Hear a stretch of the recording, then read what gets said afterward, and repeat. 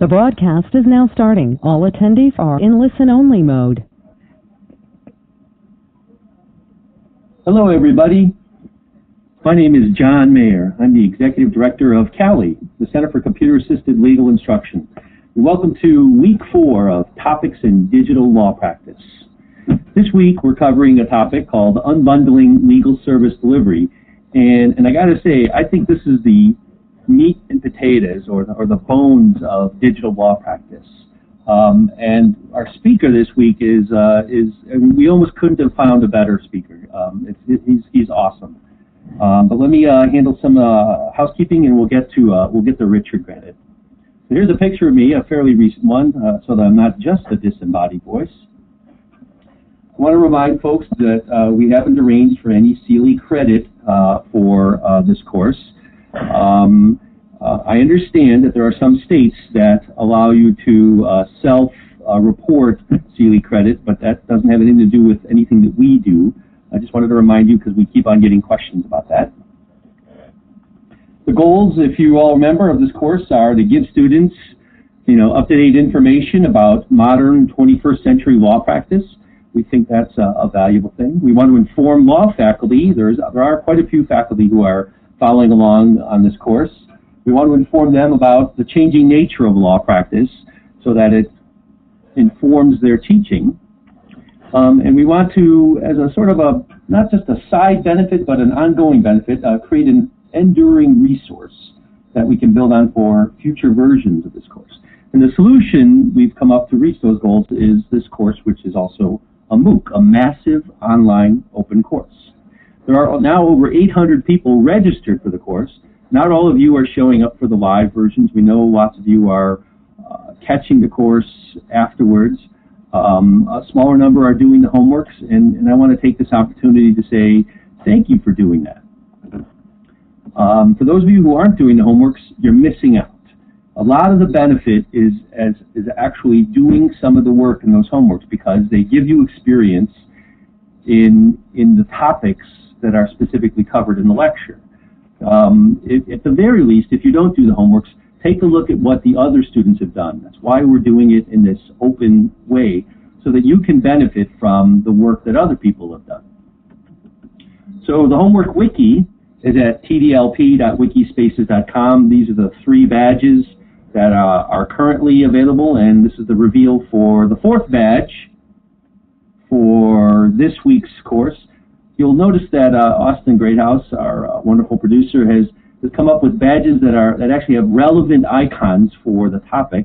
That first one was virtual law practice. The TDLP H2 is for document automation. You see there's like a clipboard. The third one was for tech in the courts, and there's a courthouse. And so this is for unbundled legal services, legal service delivery. As always, if you have questions, post them into the question box. We will ask them of the speaker in, the, in a few minutes after we got after his presentation. And those that we don't have time to ask, we, uh, we dump to the wiki and then answer them uh, or ask the speaker to answer them. Let me uh, go over to that and show you that last week's uh, speaker, Jim McMillan, did come, come through and uh, posted a, a, whole bunch of answers to all of the questions that we didn't get to. I went through after that and added links for some of the things that he talked about. Uh, this is a great sort of FAQ on, on some of the topics. Uh, really appreciate uh, Jim doing that for us.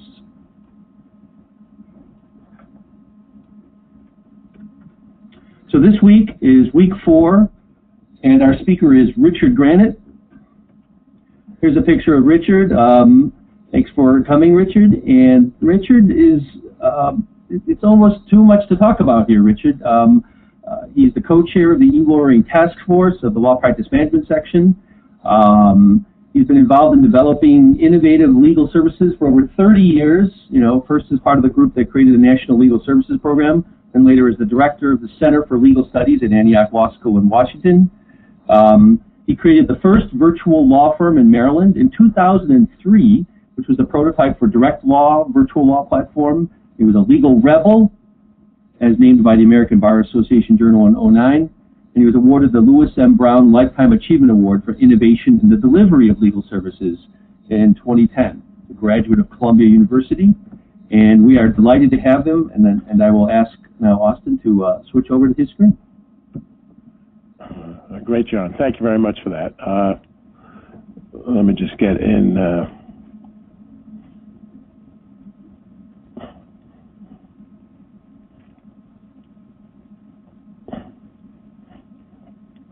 uh, well, you should be seeing the uh, the initial slide uh, since you send it to me. So, well, that's good.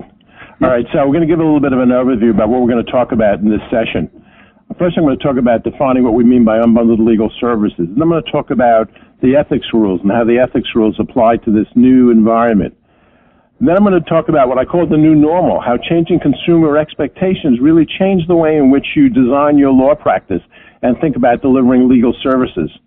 The fourth, I'm going to talk about specifically the impact of the internet as a platform for the delivery of legal services. Even though this topic of unbundled legal services can be done in the office, it has special power when you think about delivering it online as a uh, as, as, an approach to uh, really connecting uh, with clients. Uh, there's a special power that uh, takes this concept from where it was originally conceived, and when you put it online, it begins to achieve leverage that uh, are really, remar- I think, remarkable. Then I'm going to go through some case studies some nuts and bolts. So you can think about if some of you who are graduating law school and you're beginning to think about uh, maybe going out on your own, and uh, this will inform your business planning process. And I'm going to talk about the future for this concept and really how to learn more, because uh, learning really does start, I believe, when you get out of law school. I don't think you learn much in law school about these ideas, as I'll mention as I go through the presentation. So, when we talk about unbundled legal services, what do we really mean?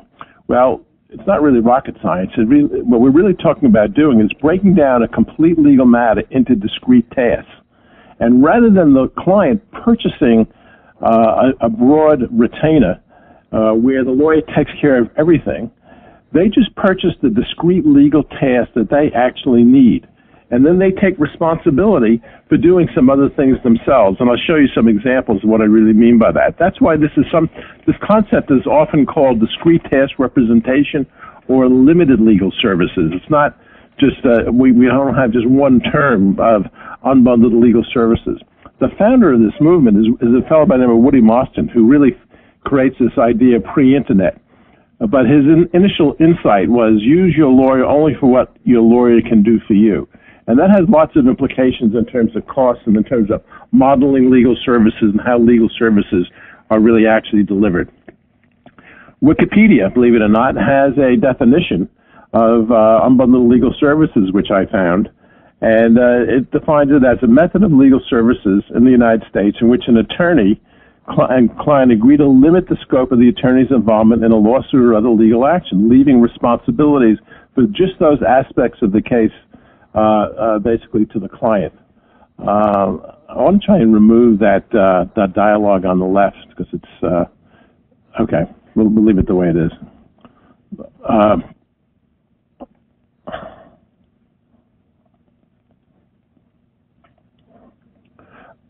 The um, the PowerPoint's not moving forward for some reason. Let me try and do this again. Here we go. Okay, so I like to think of legal services, uh, unbundled legal services, kind of legal services a la carte, like one from column A and one from column B. It's a way of thinking about slicing and dicing legal services, which has an impact of really reducing the cost to the client. Therefore, as I will explain as this uh, uh, presentation goes forward, we really widen access to legal services and we widen the market for legal services because we, we've come up with a, a way of actually reducing the price by using uh, the client to do part of the work themselves. Let's start with ethics. Uh, ethics really, uh, the ethical rules are what really makes us a profession, but uh, sometimes those ethical rules can strangulate the development of innovation. Uh, of the delivery of legal services. I'm not going to talk too much about the strangulation because you have another instructor in this course, Will Hornsby, who's really an expert in this, and he can talk more to the point about how the ethical rules sometimes impede innovation uh, within the delivery of legal services. Nevertheless, we really need to understand what the ground rules are because for a long period of time, this idea of delivering legal, limited legal services was an anathema within the legal profession. The lawyer really had to take responsibility for the whole job and leave nothing to the client. It's only recently that we've had an innovation in the rules themselves, which really permit this in a way so that the lawyer doesn't have uh, exposure to real liability. So the, the key the key new rule that was really passed uh, uh, several years ago is is uh, 1.2c, which says that a lawyer may limit the scope of representation if the limitation is reasonable under the circumstances and the client really gives informed consent. Now, those are two general standards which uh, in the implementation can be a little bit tricky, but it is the ground rule and the basis for delivering pieces of legal services rather than the whole legal service. This rule has actually been adopted by 41 states, and the remaining states have adopted a similar rule. And a committee which I'm involved in, which is the, the Delivery uh, Legal Services Committee within the American Bar Association, has a proposal that's going before the American Bar Association in the annual meeting, which uh, asked the House of Delegates to really endorse this concept uh, in a way that uh, is really positive. So lawyers begin to think uh, uh, very carefully and expansively and positively about this uh, limited legal service concept. So let's talk about how we implement the practices because when we talk about best practices, in order to really limit the, one's liability, there's certain basic ideas that you really have to adhere to. The first one is there needs to be some kind of a written agreement. If you don't have a written agreement as a law firm or as a lawyer, really you're exposing yourself uh, to liability. And this written agreement needs to be limited into time, time and scope. It says when the engagement starts and when the engagement actually ends. Ideally, if you have a refund policy or a guarantee policy, it needs to be in this written agreement. It needs to describe the specific task that you're really doing for the client. So the, the, this is a new kind of retainer agreement. It's not a general retainer agreement. It's a limited services retainer agreement. It, what it does, it really it defines the scope of representation. Uh, I actually have a sample that uh, if you click through when this goes up online, you'll be able to see a sample limited retainer agreement. Uh, um, you know, we and we work with lots of law firms, and we insist that every one of these law firms, at the time that a client registers online, they accept uh, essentially a limited retainer agreement. Uh, there are some other issues here. Uh,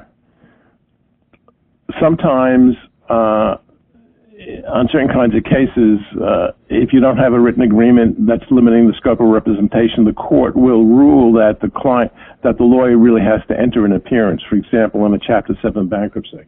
Uh, this, of course, if it's unanticipated, increases the, dramatically the cost of the entire engagement.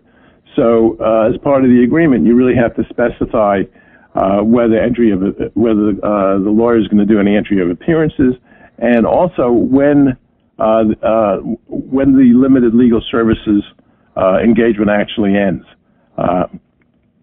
so if we to summarize this, I'm going to summarize this and then just go through like three or four major points. I think you know the first one is there is a variation in your state bar rules, so you have to uh, check and see what is required by your local bar. You have to define what's reasonable under the circumstances. You have to clarify the scope of representation. Uh, if you turn somebody away, you should do a rejection letter in writing. At the end of the relationship, there should be a letter ending the client relationship. You still should really check for client for conflicts of interest. So what these are, these are essentially design elements dictated by the ethical rules when you are creating a new form of legal service, whether that service is offered online or it's offered in your office yourself, because these concepts apply both in the office as well as uh, in the online environment. Now, we can talk about some examples of unbundled legal services, and here's where creativity really comes into play. Here's a partial list. Reviewing, just reviewing a document for a client reviewing documents bundled with legal advice, enabling the client to go off and file the documents by themselves, or maybe do actually represent themselves in the hearing, but all you're doing as a lawyer is bundling the documents with legal advice. This is the core of the, my own particular practice uh, that uh, uh, that I practice in, this, in Maryland. uh, drafting an individual order, just negotiating for the client, preparing exhibits, what we call court coaching. The client's going to go into small claims court, and they want to buy some of your advice about what they need to say, what, how to frame their claim, how to how to argue their claim to the other side. So we created a new service called court coaching. Ghostwriting is when you actually write a brief on behalf of the client, and some states require that if a lawyer is used to write a brief for a client, that the identity of the lawyer must be uh, disclosed in the document. But that's not true of every state. So again, you really have to uh, check your state rules. Uh, lawyers are giving legal advice by telephone or by email. They're just slicing and dicing that uh, so that uh, they're giving limited legal advice. Uh, lawyers are advising, obviously, clients about legal rights. They're doing what we call legal form preparation, which is legal services that are delivered for a fixed price or they'll do particular legal research and only around a, uh, an individual issue. So we have these four basic rules that limita- limitations must be informed and that the, the client must understand what they're really getting into. It must be reasonable under the circumstances. If you have a client who's really going to be challenged by this kind of thing and really doesn't understand what you're talking to, uh, talking about, then you, it's really a case for uh, full service representation not uh, limited representation. If you have a, a, a, case which is going to be filled with conflicts, then it's a, it's a case for uh, full service representation, not limited representation. Uh, any change in the scope of the engagement needs to be documented. Uh, clients must be advised on related issues, even if they don't ask. There was a famous case in California where a lawyer lost a malpractice suit because the client came in with a workman's compensation case and he wasn't advised that there was a related civil case against the bus company that uh, hit him, and then the statute of limitations uh, expired. And even though the office said on the uh, on the door that our practice is limited to workman's compensation cases, it was ruled that the lawyer really needed to advise the client of any kind of other related claims. After all, it's the lawyer who knows about related claims, not the client. So in, in that in that way, you really have to be you have to be careful. So it's not as if uh, every situation can be handled with total simplicity. There is complexity in doing this, but I think you can provide for uh, dealing with the complexity and reducing your liability if you're really careful. Now, I'm now going to switch for a minute, and I'm going to talk about why this trend is really accelerating. What's really happening in the marketplace, which uh, suggests that uh, now is the time to deliver le- limited legal services. Why I believe that limited legal services, the legal services, will continue to become a dominant way in which legal services are delivered to the to the average consumer. And we're talking about really individuals and small business. We're not necessarily talking about uh, large corporate law firms that deal with large corporate clients, but even in that environment, we see a form of unbundling uh, begin to take place. So what's what's happening in terms of what cons- what do consumers really want from their lawyers, and and these are the things that I believe that anybody who's planning a law firm today really needs to take into account that consumer behavior is shifting, and consumers have much higher expectations about what they want from their lawyers. So what do clients really want? Clients want fixed pricing. We know that. Now, not every legal matter can be uh, delivered on a fixed price, but if it can be, clients really want fixed pricing. Clients want speed. They want something yesterday.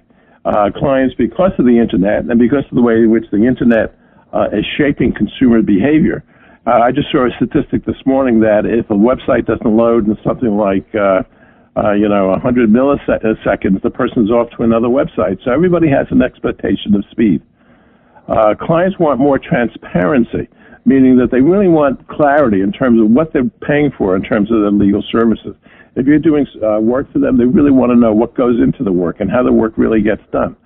So law firms that know how to practice transparency, I believe, will be winners in terms of gaining clients in the future clients want better technology. I mean, after all, I mean, uh, clients do their banking online, they do their travel online, they do their brokerage online. Why can't they really deal with their lawyers online? They know that that technology is out there. You heard Marc Lauritsen talk about the efficiency of using document automation. Yet even today, many law firms uh, still don't do that. They're still operating in what I call uh, really a generation ago, and And clients really expect you to find that technology, use that technology, and pass the benefits to them in terms of redu- a reduction in price. All these trends now become accelerated because we have a web generation which is uh, evolving to the point where uh, they all have legal problems. And as a web generation which has essentially in the internet and the DNA, it's your generation, people who are texting all the time, and really expect their lawyers to be available online and be available in a way uh, that is responsive to how they perceive they really want to purchase legal services. At the same time that this is happening, we see lots of competition, and the competition is really coming from uh, non-lawyer law firms. And we have uh, something like a LegalZoom that's done a million wills. I'm sure everybody's heard of LegalZoom unless you've been sleeping for the last couple of years. LegalZoom, by the way, says that they uh, generated $100 million in revenue last year and is about to file for an IPO. This is not a law firm, and it's the major legal brand in America, and it's not even a law firm. The significance of this is that what LegalZoom has done is that they've unbundled the lawyer completely out of the process. They've taken unbundled to, to an extreme by simply uh, providing forms with a paralegal review. So that's a form, all of these uh, uh, new uh, disruptive efforts are a form of unbundling. And the legal profession is really yet to catch up uh, with this uh, kind of demand and, with, and this kind of an environment. Meanwhile, I believe there's a huge latent market. There's a huge demand for access to the justice system. We have uh, uh, you know, millions of people who really can't afford the full price of going to a lawyer. And I believe that it is possible to tap into this latent market by being creative and by creating essentially new kinds of services that uh, can reach out to people at the point uh, where they feel comfortable uh, both uh, essentially connecting uh, at a price point which makes sense for them. So this is a screen for LegalZoom. LegalZoom has become one of the major trademarking services uh, in the United States today. And if you look at the screen carefully, it's really a form of unbundling, even though it's not a law firm.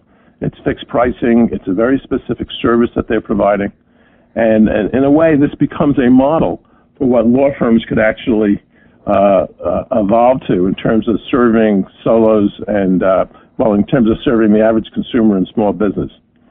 Uh, this is a new site which is kind of interesting to me that was just developed by Lexis. It's, dot, it's easylaw.com. And here what they've done is they've connected up a document assembly solution with legal advice from an attorney. So again, this is a form of unbundling because they're offering a stripped down legal service at, for essentially for a fixed price for those people that it fits. It doesn't necessarily fit for the most complex matters, but it certainly fits for these kinds of matters. I also kind of find it interesting that Lexis, who views their clients as an aside uh, as law firms, essentially disintermediating their primary clients by offering a direct consumer service. It's a site that's really worth take, uh, taking a look at. Uh, and, and, if you wanted to actually do an exercise, you can evaluate it to see whether it's truly ethical compliant. And I suppose it is because it's Lexis, but sometimes uh, the biggest players on the block uh, may overlook certain things.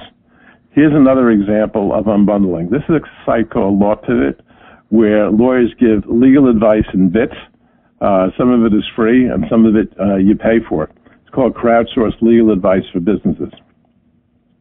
So, where are we in terms of the legal profession? It's remarkable to me that only 52% of solos even have a website. So it's really hard to deliver unbundled legal services over the internet unless you even have a website, which is really the gateway to uh, connecting with a lawyer online. Uh, when I do my analysis, and I've seen other research in this, we would say that the legal profession is lagging behind every other service industry in terms of its capacity to connect with consumers around the dimensions that I went through in the last in the last few slides. Uh, they're also further behind every other service industry in the u- contemporary use of internet technology to connect and relate to clients. So, now let me shift a little bit. I want to go through what I call some case studies and talk about the, the concept of what I call friction. Uh, a way of thinking about uh, responsive legal services is to think about reducing friction friction really means that you can connect easily with your lawyer and get things done with your lawyer without a lot of complexity. Uh, the ethical rules are a source of friction because it makes it more complicated for a law firm to deliver legal services in an unbundled way than, it, than something like a LegalZoom who doesn't have to comply with those rules. But sometimes having a certain amount of friction is good because it really protects uh, the interest of the consumer. So when you think about balancing, there's a balance between something which is completely unfettered and uh, unregulated, and something like a legal service delivered by a legal uh, by a law firm, which has a certain amount of friction attached to it, but still retains uh, what I call uh, the integrity of core professional values, uh, and really represents the core values that, as a profession, we represent when we design models to service this new and growing market, we need to think about what we call the economic benefits. So what, is, what are some of the real benefits of this approach? First, the, uh, the market is expanded because the price is reduced. It enables a lawyer to actually develop a limited relationship and build some trust with a client so that the client can come back to you at some later point when they have a more complex and uh, engaging kind of a problem for a more full service representation. But reaching out to a client and doing a small piece of work is one pathway to building trust. Uh, finally, uh, I believe that uh, one of the core economic benefits for a law firm in offering limited legal services is that it generates revenue. It generates revenue which is now being lost to something like the LegalZooms and the other non-law firms that are offering simply legal forms without the benefit of legal advice and legal guidance. Law firms are leaving revenue on the table in the millions by not really adopting this approach of offering limited legal services. Another thought is that we know that this approach helps really meet the needs of clients as the client perceives their need. By offering a range of different kinds of services, you can diversify your clientele and reach out to clients who normally uh, you might overlook or you or simply would uh, uh, not be connected to your law practice. So there are benefits to this unbundling approach a key one, which is driving change, and the reason for the change in the rules is that we know that uh, by offering even bits of legal services, it lessens the burden on the court system. Because the court system today is now overwhelmed by people who are essentially representing themselves. Something like in uh, family law cases, 90% of, of all family uh, law cases, one party is representing themselves by adding a, a little bit of legal guidance, you reduce uncertainty and you reduce the amount of disinformation and miseducation that clients bring into the courthouse. At the same time, there's a much greater access to the legal system for individuals who simply can't afford 150 or 200 dollars an hour with no upper limit. Uh, for the professionals, uh, as I've indicated, this taps into a different kind of a client base and taps into what we call this latent market for unbundled uh, and online legal services. So let me just skip over this minute. The concept of unbundled uh, legal services really starts out in an office environment before the internet was really a uh, per, the pervasive platform it is today. But when you add digital technology, you increase the reach of the law firm, and you're able to create new legal service products that don't really exist in an offline environment, and which can be offered, for example, by a law firm statewide. Uh, and uh, you, you, can uh, you can create all sorts of new competitive alternatives, which are offered and powered by essentially online technologies there's something also about digital technology that it forces the breakdown of services into smaller units of consumption. It, it, it, there's something about the digital technology itself which has an impact on on what, what I call not only service delivery but also on media. So in the same way, iTunes really broke up the mu- music industry by uh, destroying the concept of the purchase of the album. So you could purchase an individual song on iTunes for 99 cents. digital technology is having the same impact of forcing lawyers to develop discrete and narrow services that can be offered over a much wider geographical area. And the internet really supports that distribution because when if you're going to be on Google and you expect to be found on Google as a law firm, you need to have a very narrow and specific focus. The narrower the focus that you have, the easier it is to be found using organic search methods. So even though that is not what I call your total practice, the way in which to get the attention of the consumer is to have a very narrow focus. So I, for example, have a landing page for my family law practice, which just discusses what are called QDRO orders, which are QDRO, uh, qualified domestic relations orders in a divorce. That's a very narrow product that I price very specifically. And because it's narrow, it gets a lot of mind space on, on the internet. So what's happened is that digital technology itself breaks down this concept of the general retainer for general legal services into new kinds of service products that can be uh, easily delivered. So when it's done right, you get what I call great leverage. When you invest in developing a new digital service, you can end up with uh, a very powerful, highly leveraged, high margin service that you can deliver to many, many more people than you can deliver individually. So now let me uh, focus on some case studies. And some of these URLs you've seen, some of you haven't. I've already discussed LegalZoom. Uh, a case study that I want to uh, uh, mention is actually I'm going to use my own law practice. You can find it at mdfamilylawyer.com. I have another, another site called granatwills.com. In my family law practice, I have taken all the services that I do and I break them down into individual bits. Like, for example, if you can't find your spouse to serve your spouse, that's called a motion for alternative service. Uh, I created a separate service just to do that because the average consumer doesn't know how to do motion for alternative service. Uh, in most of my practice, uh, the client actually goes to the hearing themselves with my coaching support. Therefore, they don't have to pay me to go to the hearing. They file their documents themselves. They don't have to pay me to file their documents. So what I'm doing is providing what I call the core legal services, which is done essentially for a fixed price. So this is what my site looks like, and it, it, it's a it's a partial screenshot. But if you if you went to the site itself, I think you'd find uh, as a good example of what we call uh, unbundled legal services over the net. There are products on the left-hand side. Each of these products I sell for a fixed price, bundled with legal advice. In this case, the, uh, uh, the, the, the discussions that you had about the virtual law firm and document automation that Marc Lauritsen talked about two weeks ago also come into play because all these technologies uh, get integrated in the delivery of unbundled legal services. So there is a connection between all the sessions that we are now having in the sense that they're building blocks to creating the business plan for, for a law practice that I think will really thrive and expand uh, in, the, in the next two decades.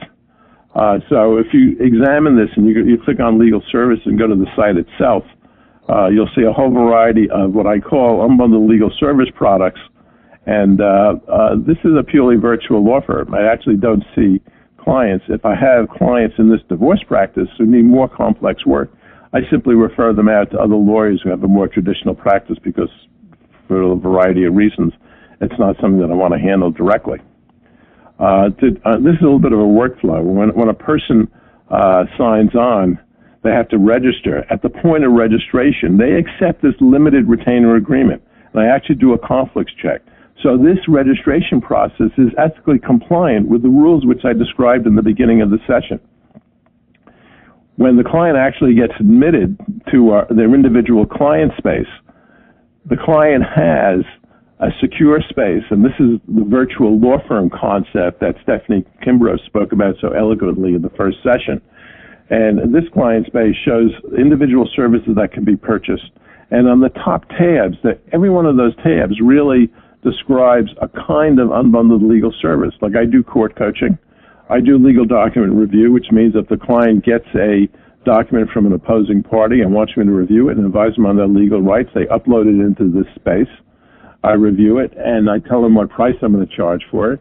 And uh, then I make my comments and I can communicate with them through essentially a, a communications tab. And what's happening in all this is that even though my prices are low, I'm doing a more volume business. And because my costs are very low, my margins are much higher. So we're dealing here with a different model where we have integrated the concepts of, in this case, document automation and a virtual law firm into the idea of delivering unbundled legal services.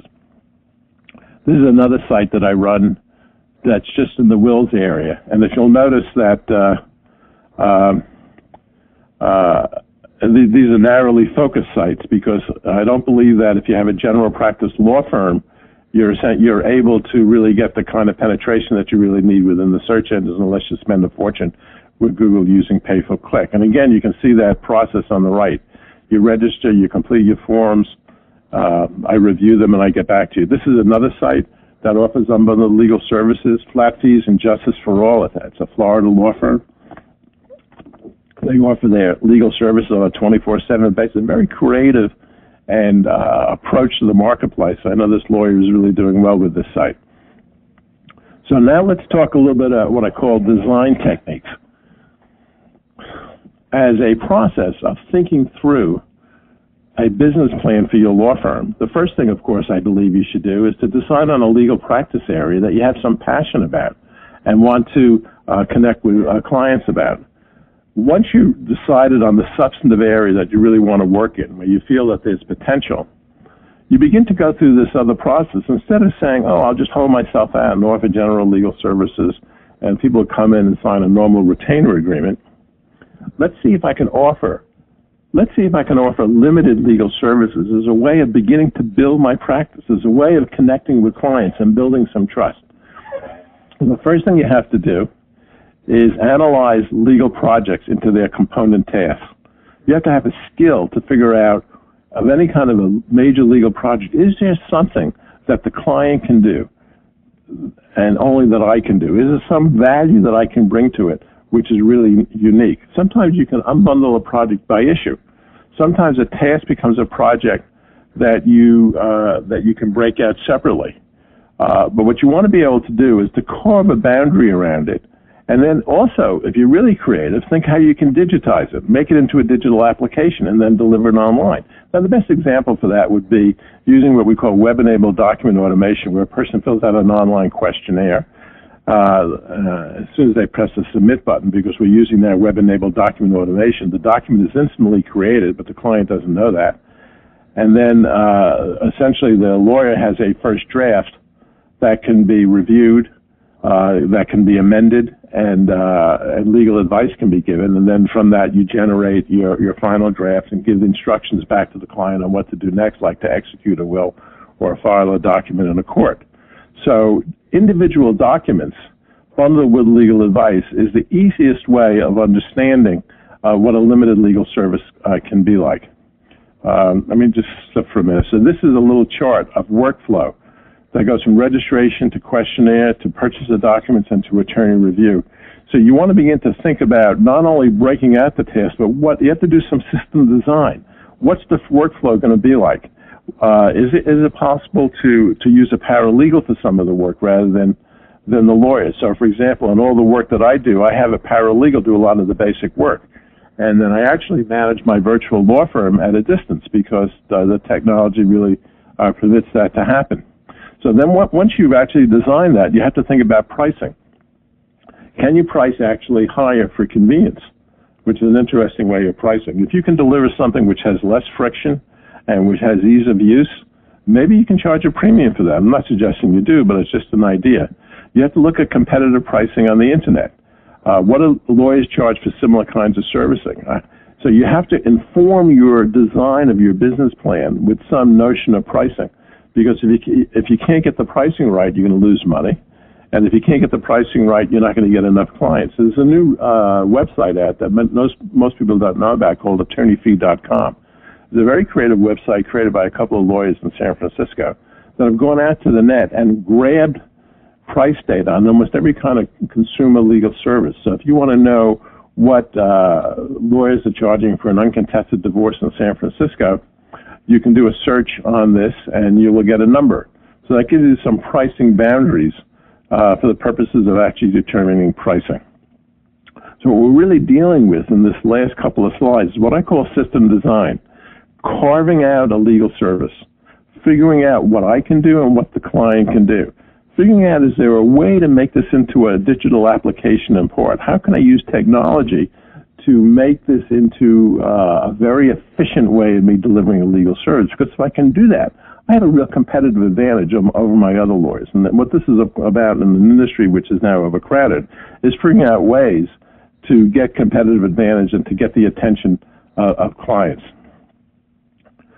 So when I think about the future of unbundling, I believe that fixed price legal service delivered online will become a dominant pattern, particularly for consumers and small business.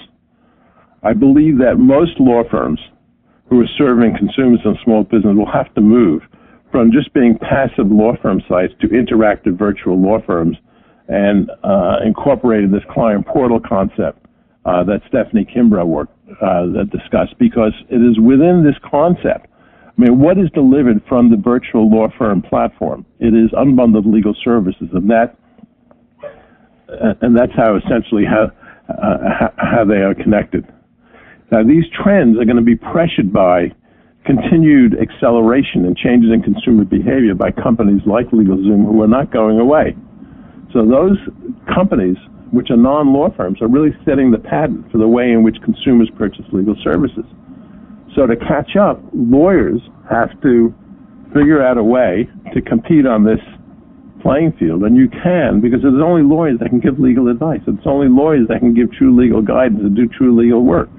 So if you figure out a way to uh, to deliver what I call a value-added service at a price competitive, uh, at a price which is really competitive, I believe you have a winning service.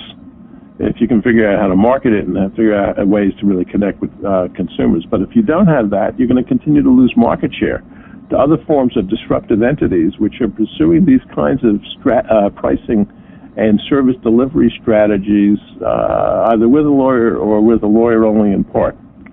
So, this is a big subject. This is only we only like touched the surface on that.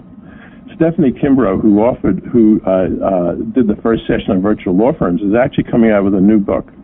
And what I'm talking about here are ways to learn more.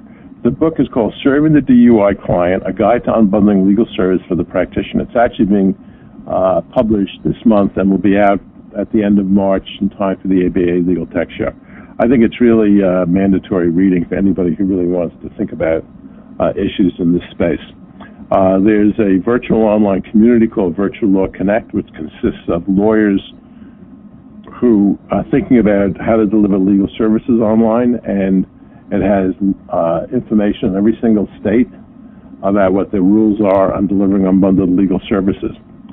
Our own little company, Direct Law, has its own learning center, which expands on these themes.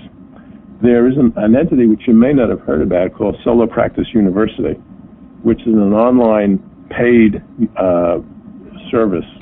I think the price is like $117 a quarter, but during that quarter you can get every single course that they offer. I actually offered a course on unbundled legal services through this university, and what I'm telling you today is only a piece of a much longer eight or nine session course. But that's a very good resource. I mean, Solo Practice University, in a way, is designed to uh, offer uh, information and materials that you really don't get in law school. So, as I say, your learning really first starts, I believe, when you graduate. There are a few courses like this which really touch on these subjects, which become so critical to thinking about how to build your business plan for a law firm that's going to operate effectively uh, in the next decade. There are additional uh, resources. The ABA maintains its own unbundling resource center, which is a single best repository of information about this concept. There's an older manual that was done by Mike Millemann from University of Maryland Law School, which is the Handbook on Limited Scope Representation that was done for the ABA section on litigation and I think that is uh, probably one of the best things that's ever been written on this.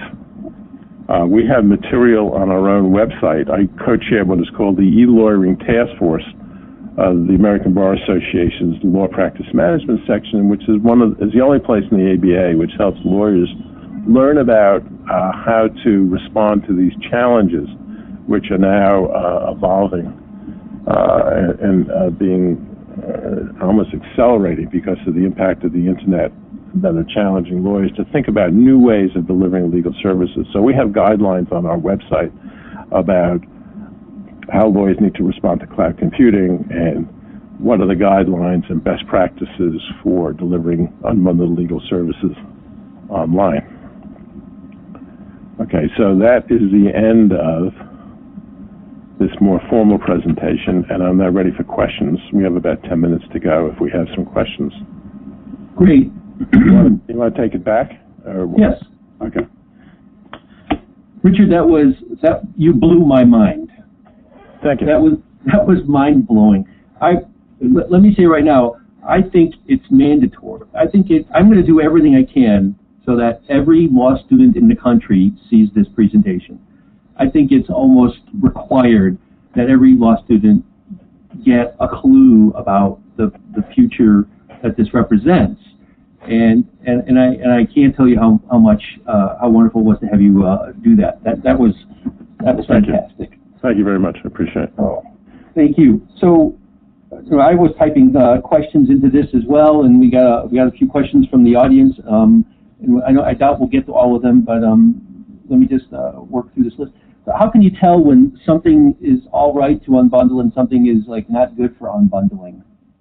Well, I think you have to, you have to, uh, first of all, you don't leave it to the client, but you do it on the system design side. You try and design something which is a discrete service, which has some boundaries to it, and then uh, you do take responsibility for uh, pursuing that piece of legal work. A good example that I gave, you know, we do a lot of divorce work, and we have a certain percentage can't find the other spouse, so you, uh, to serve process. And in order to serve process, you have to go before the court, and you have to do, uh, uh, you have to provide documentation uh, that you couldn't find the other spouse, and it requires a separate motion. So uh, clients have uh, sometimes a difficult time uh, providing sufficient documentation the court will approve. So that's an example, of a very bounded task, which I alluded to in the presentation, which the lawyer does. And the lawyer does that whole task completely. And once it's done, and you get the motion, then uh, in many cases the client can proceed with an uncontested divorce, which is a separate second task. In that case, uh, if it's an uncontested divorce and it's a no-fault divorce, uh, the hearing is very simple. There's no conflict. All they need is the forms and some legal advice. And when that's done, it becomes an administrative proceeding. So, so you have to be able to sharply delineate the nature of the task. It's really a design issue. And I'm interested in people's ideas about this because I think this is where fertile imagination comes Yes. into play by lawyer entrepreneurs in seeing ways to meet individual needs and to tease these individual tasks out of more general tasks and therefore uh, uh, make both a contribution and a way of making money. Well, and I also hear, I, I hear, I hear you saying that ad hoc unbundling is not a good idea. It's not a good idea. What you need to do is systematize what you're going to do. Think about it before. You have to build a mini system, a mini uh, a, a system of what I call uh, uh, like a form system. Or you have to think of the task, think of the workflow. It's a pro- it's like a product. What you're doing is productizing a legal service and doing it in a way which is satisfying to the client. Uh, you know, there are lots of things that are services that have become more productized that nobody thought was possible. So, uh, you know, you have Zappos. Nobody thought you could buy your shoes online. You know, people thought you had to go into a shoe store and somebody had specialties how to measure your foot. That's a service. Well, they converted that into a purely productized service. So you can get a lot of leverage if you can figure out a way to productize a service by adding digital technology to it. Because I see as a future that legal services, some legal services in the future will be not just a pure service, but they'll be a mix, a hybrid between a digital application and the, lead, the service of a lawyer. And by combining those things, you create a sort of uh, managed productized service, which you can get a lot of leverage for it because you can do this in volume and you can be the only game in town if you've done it in a way that has some proprietary aspects to it. Okay, so that sort of does answer the, the follow-up question I had, which, which was, does the high tech lose the high touch? Um, and you're basically saying, you know, you, you can do, you could have both. Yeah, you need to have both. The, the, the real distinction here is to, is to build in both. That you want to build in both high tech and high touch. Now, we, we know that a, a pure on, online service is not going to be as rich as a face to face service in the office, but what you sacrifice for that, you pick up in terms of reach because the law firm now has the leverage. So, I mean, think of this. If you did a lot of work and you created this kind of service and all you did was see clients in your office one on one, it wouldn't be very economically productive. But if you did this and you put it online because you're increasing reach, you can serve everybody in the whole state with your particular brand of a proprietary service. Uh, you know, and it could be very specialized. It could be uh, just like uh, trademark infringement, or you know, it could be could be a narrow service. But when it's done right at the right price point, it leads to a volume business. Gotcha. So can a new lawyer or someone just out of law school going solo handle this? I mean, should this only be done by people that understand the law or have practiced it, it the traditional way before you can create a system? Uh, uh, sometimes a fresh look at something with a fresh pair of eyes is healthy and a better way of being creative. I think you have to know the substantive law in, the, in an area. You have to know something about a all the steps that it takes to deliver legal services before you can break it down. But uh, I don't see that much of a disadvantage as just being a young lawyer. I think you can learn that, and if you bring a fresh pair of eyes, you're not going to be bounded by the older way of doing things. So I encourage younger lawyers to think about how to do this. I mean, this is where innovation comes from thinking about things differently. This is innovation. So, what, what, what can law schools do to uh, to get their students more prepared for uh, the world of unbundled uh, service delivery? Uh, I think law, law right now. I think I think law, law schools should be teaching kind of clinical courses in law practice management, which combines, uh, which is informed by learning a whole bunch of uh, information technology skills like databases and client management and legal service delivery. And well, to do those courses embedded in a kind of clinical experience where they're dealing with some practice. I mean, it could be very, it could be a, a very healthy learning experience. For example, to have law students parse a document and create a, an automated document using any one of the tools that are available that Mark talked about last week. I mean, that's a challenging uh, uh, exercise anyway, intellectually, and uh, mm-hmm. just having a taste of that can.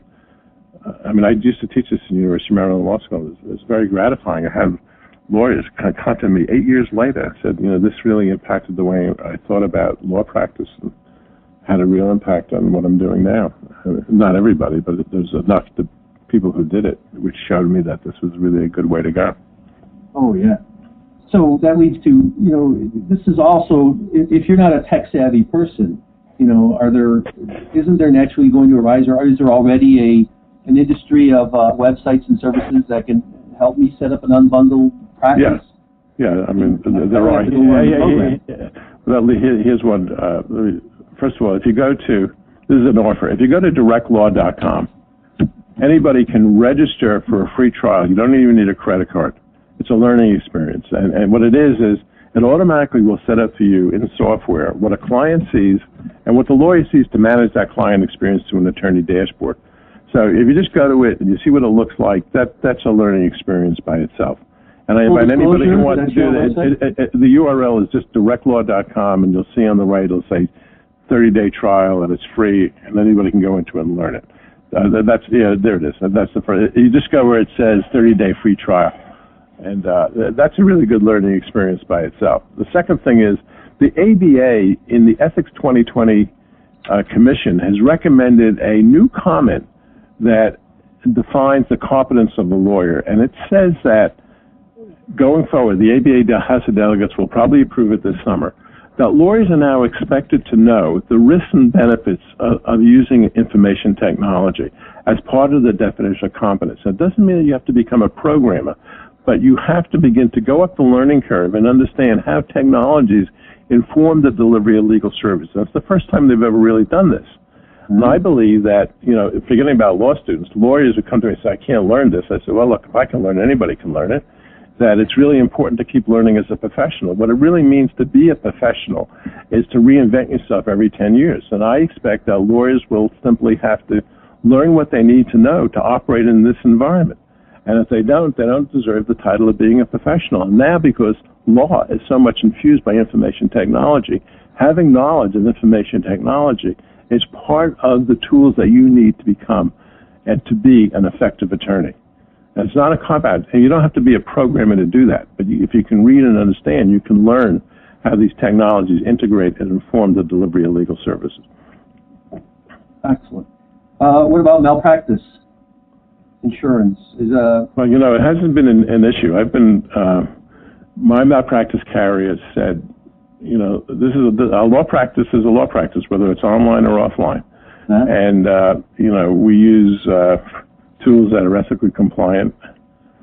So um, sometimes you have to plan for other kinds of risks to make sure that the client that you're dealing with, if you're online, is actually the client that you're dealing with.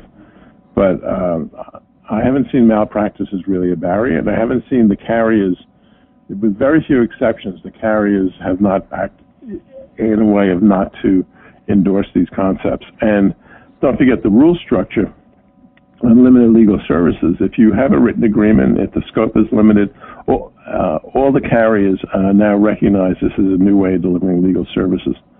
So I, I don't see that as really a constraint. Good. These, these are questions. These are questions coming from the audience, right? Is that where this is coming from? Yes, I wrote a few of them, but um, I'm, I'm mostly. I mean, there's enough good ones from the audience that I'm not. I don't have to dig into mine. Um, are there examples of law rebundling with discrete services from other professions? And the example is uh, family lawyers offering services bundled along with uh, uh, psychological or social services. Probably not so much um, yet, right? Well, well, yeah, but you, you do have things like physician's assistants, right? Oh. And what you, what you have there is you have delegation and uh, the more discrete services offered by physician assistants, which are not offered by the doctor. So if you look at uh, other other kinds of professions where there's a heavier use of parale- of uh, paraprofessionals, you'll see uh, delegation of tasks. Uh, right. So you get your flu shot from the nurse, but yeah, uh, the doc makes sure that right. Uh, right. everything is yeah, yeah. yeah. I think there are other examples I could think about. I mean. I mean, certainly. Well, yeah, there are a lot of good. There are a lot of good examples. Uh, so, if you go to Charles Schwab, and you're going to pay eight ninety five to do your stock training, that's an unbundled transaction instead of going what was then Merrill Lynch and paying four hundred dollars for a broker to exercise your transaction and paying full service. So there are lots of examples economically in other service industries which uh, uh, represent forms of unbundling and, and, ways in which you know pricing uh, gets done. You know, in insurance and and then financial service industries. Uh, you know, that's a major f- force for innovation and change in all those industries. It's to figure out how to strip out uh, costs which are not necessary for that essential do-it-yourself customer. So think about like do-it-yourself trading, or I, mean, I, mean, I think that I can think of a lot of examples, but not right offhand. Maybe if I have a chance to write about it, I'll do some more on your wiki. That's fantastic. Thank you so much, Richard. We're we're running out of time, and I need to I need okay. a minute to uh, talk uh, homework uh, to everybody. Um, we will post all those questions on the wiki, and and it's wonderful that you've offered to come back and answer. And and, and I'll, I'll also go through with uh, some of the answers that you gave, um, you know, and try to uh, sort of summarize. So you're you're not alone in that process. Great. Thank right. you very much. That's great. I'll just hang on for a minute while you do that. Thank you. You bet. So homework assignment four. Um, so it's a, it's a there's two pieces here, and I'll and, uh, and, and let me just go through the first part, which is um, uh, the first one. So um, so first, define two discrete tasks that could be unbundled from different areas of law practice. So so come up with just two examples. This is this is relatively straightforward. Um, although the goal here is for you to start thinking or or to think systematically about law practice and, and, and how you might take a particular legal service product and take it apart. Define a task that lends itself to being converted into a digital application. In other words, just because it's unbundled doesn't mean it's digital, and some unbundled services lend themselves better to a web-based or a digital uh, application, such as a, a smart, uh, an app or a website or some kind of downloadable program. Think about the first time you've used like TurboTax or TaxAct or any of the tax preparation software. That was an unbundled service that you, prior to that, would have, if you wanted a professional to help you do it, you went to H&R Block or one of the other ones. And now you can do it with all sorts of advice and call-outs happening, you know, inside of a piece of software. To list some of the risks, and I put at least three that are involved with unbundled legal services, you know, and um, try to think of a digital application that could automate a legal task and, bundled with legal advice, be sold for a fixed fee. So what I'm trying to say is, uh, don't and don't just use uh, Richard's excellent example of you know a document with uh, attorney review. That's that's that's the easy one.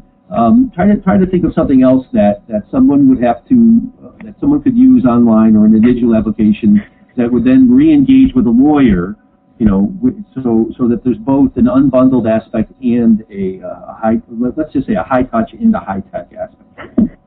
All right, so that's your homework. Now I've added also a uh, an extra credit, and it basically said, uh, look, uh, the the unbundling or the limited service agreement uh, issues are are state by state, and um, there aren't too many places on the web that I could find where where there's uh, collections of links to those opinions and uh, to articles, blog posts, and things. And so, um, if you want to get some extra credit or if you want to help us out, um, go to this page, which is on the wiki. And you know, as you find articles or, or opinions or things like that, and, and if they're state specific, um, put them underneath the particular state. I've uh, pre-filled this in with a list of state names. And if they're not state specific, then just include a link under the not state specific at the, at the top. All right, so that's the homework. Uh, you've seen the new badge. We're now about two minutes past, and so I think we're done. Thank you very much. It's been wonderful having you, and uh, look for you to join us again next week. Um, and so see you next week. Thanks so